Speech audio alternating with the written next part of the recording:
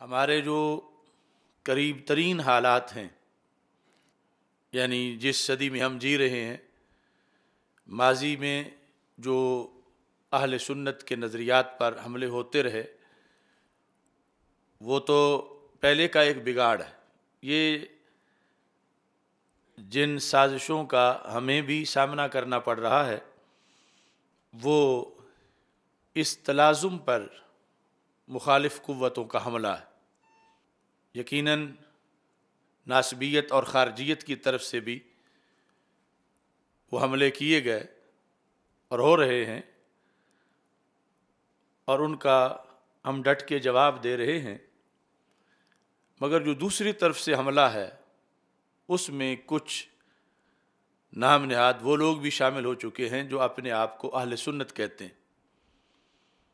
तो तलाज़ुम पर सबसे बड़ा हमला महमूद शाह ने किया, जिसको मैं फितना हवेलियाँ से ताबीर करता हूँ। ये किसी को बात कड़वी लगे तो अलहदा है, मेरे पास पूरा उसका दफ्तर है। और इसी चीज़ को फिर अब्दुल कादिर शाह ने आगे चलाया। अब्दुल कादिर शाह उसी के नज़रियात का एजेंट है और वो सारी ज़रबें तलाज़ुम पर उसी की दी हुई सोच पर उसने लगाई। इसी तलाज़म को डैमेज करने के लिए ताहरुल्क़ादरी ने सारा ज़ोर लगाया। इसी तलाज़म के ख़िलाफ़ रियाज हुसैन शाह बोला है और इसी तलाज़म के पर आज कल जो ज़रबे लगा रहा है तो वो इरफान शाह।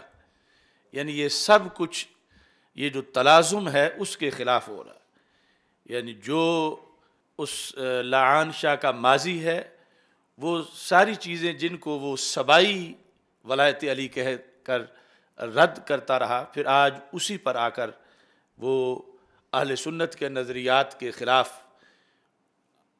अपना सारा असला इस्तेमाल कर रहा है। बाकी छोटे मोटे बहुत से लोग हैं और बहुत से आस्थाने हैं, बहुत से लीडर हैं तो ये सिर्फ़ चंद का नाम ज़िक्र किया।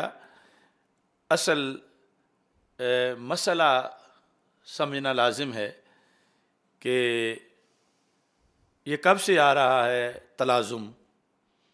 और किस किस ने बयान किया है? और उस बयान को हमारे लिए लाजिम है कि हम महफूज रखें कुरान और सुन्नत की रोशनी में। ये जितने मुखालफी हैं, ये तो आर्जी हैं। नज़रिया हमेशा से है और इन हमेशा रहेगा। ये सारे अपने अपनी फक्की बेच के खुद गुबार हो जाएँगे। लेकिन नज़रिए का झंडा इन फिर भी लहराता रहेगा।